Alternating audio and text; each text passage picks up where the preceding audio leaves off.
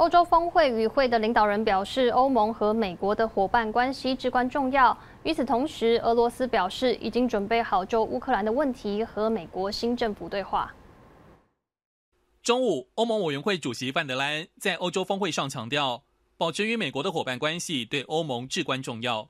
The United States is our biggest economic and trading partner. We share a unique historical bond, and our citizens share millions of friendships across the Atlantic. So it is important to build good relations with the new administration from the very beginning on. 范德兰还表示，欧盟可能考虑用美国的液化天然气来取代俄罗斯的供应。We still get a lot of LNG uh, via Russia, from Russia. And why not replace it by American LNG, which is cheaper for us and brings down our energy prices. 德国总理肖斯则表示，欧盟有能力应对川普可能实施的关税政策，但合作伙伴首先应寻求谈判。We are better off together. Und deshalb wollen wir Europäer die transatlantischen Beziehungen auch weiter vertiefen. Das gilt für Frieden und Sicherheit, aber eben auch für die Fragen von Wirtschaft, Handel und Energie.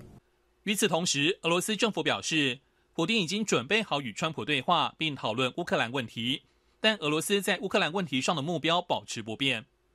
Президент ни разу не говорил о том, что цели специальной военной операции меняются. Наоборот, он неоднократно повторял, что они остаются прежними. Все это касается касается интересов безопасности нашей страны, интересов безопасности русских людей. 此前一天，普京祝贺川普赢得美国大选，赞扬他在遭遇暗杀时表现出的勇气。 新唐电视台记者赵凤华田园综合报道。